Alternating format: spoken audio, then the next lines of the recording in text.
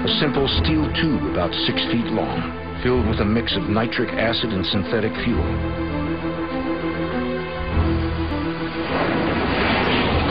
Able to travel over six miles in just 14 seconds.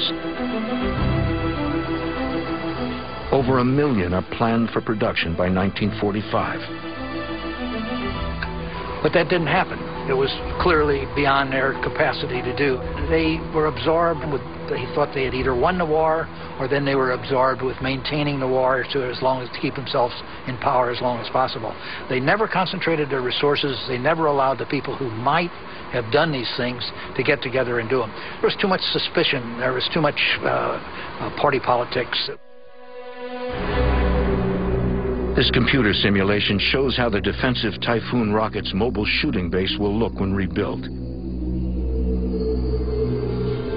A secret science artifact that perpetuates the wonder weapon mystique today. These craftsmen are building just one Typhoon, not the millions Germany dreamed would cleanse the sky of Allied bombers. Ultimately, it's the ingenuity of Nazi weapons, not their numbers, that propels the world further, faster, and higher than anything ever seen.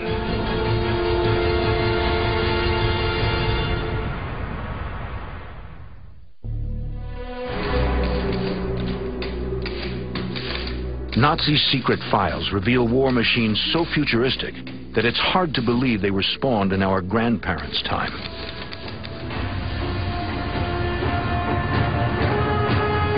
Powered flight is less than 30 years old when Hitler seizes power. Yet within months, the blackboards and blueprints of his Third Reich are bursting with incredible designs. Before the war is over, Germany will produce a series of aeronautical firsts that remain the basis for many air and spacecraft today. The Arado 234, the world's first operational turbojet bomber and the most advanced jet of its kind.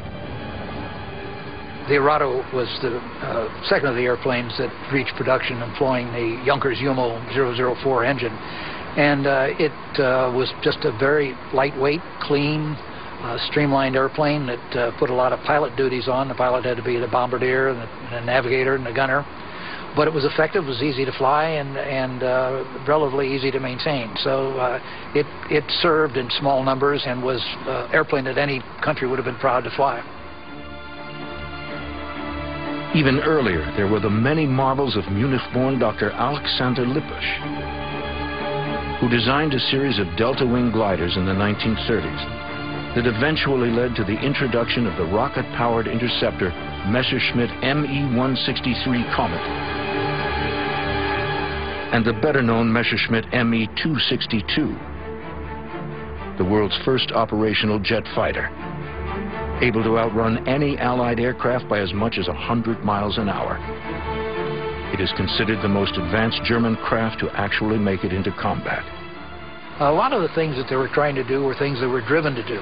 With the invasion of France, the Germans were faced with a situation in which uh, their territory was more and more confined. So their thoughts began to turn to vertical takeoff aircraft, and so they wanted rocket fighters that could ascend vertically to attack the American squadrons because they didn't have time to take them off and have a regular fighter plane climb. To this end, Nazi dream machines include the Focke-Wulf rotary jet, with liquid-fueled rockets at the tips of its triple propellers, designed to take off vertically, then fly like a plane. But the most incredible vertical lift weapon of all is thought to be hidden in the secret hangars at Peenemünde, a Nazi UFO.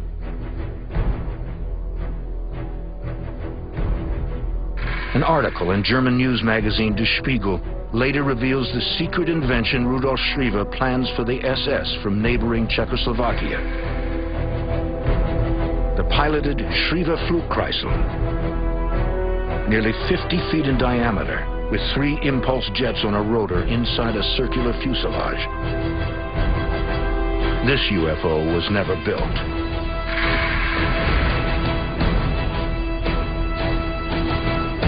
Further clues to a flying saucer surface here along alpine forests and streams at a castle in Upper Austria.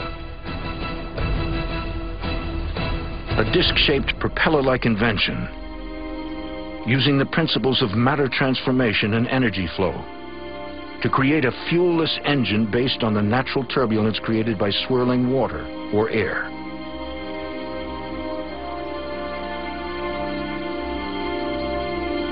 Jörg Schauberger says that his grandfather's concept for a totally new propulsion system turned rumors of a UFO into reality.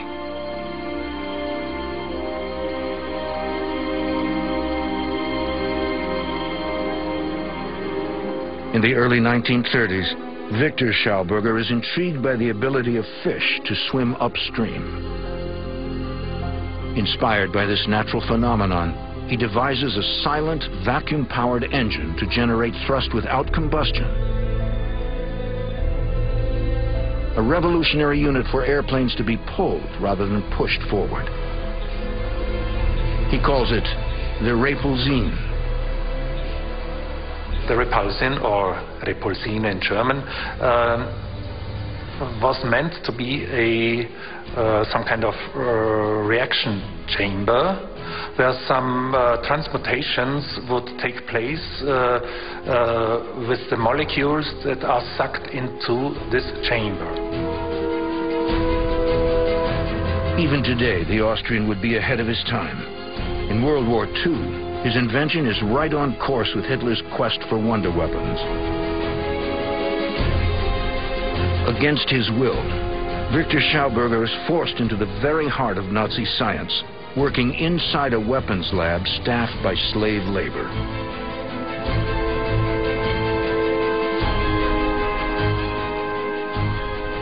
But there is no weapon-like thing with this repulsion. It's uh, only meant to be some kind of uh, propulsion system and not a weapon itself. But elsewhere, deadly innovation is in full swing. Among the top secret correspondence between Nazi officials and German Air Force Colonel Schroeder Stranz, there's a clue about a wonder weapon that's rumored to have the power to kill, heal, and even help find oil. The colonel repeatedly offers his ambitious proposal to the armed forces. In the last desperate days of the Third Reich, the SS decides to support the project. His brainchild is the stuff of science fiction. A wonder weapon that can pierce the thickest armor or send enemy planes crashing down from the sky. A test is to be conducted at a secret location. Crates are unloaded at night so no one will be alerted to the classified operation. Crates contain valuable metals and a Geiger counter to measure radiation. Dawn, March 1944. The colonel takes off for the test area. If the weapon works, he'll receive unlimited financial support. Colonel Schroeder Stranz is the only man who knows the exact details of the tests to be run. A quarry in the middle of the forest in the Harz Mountains.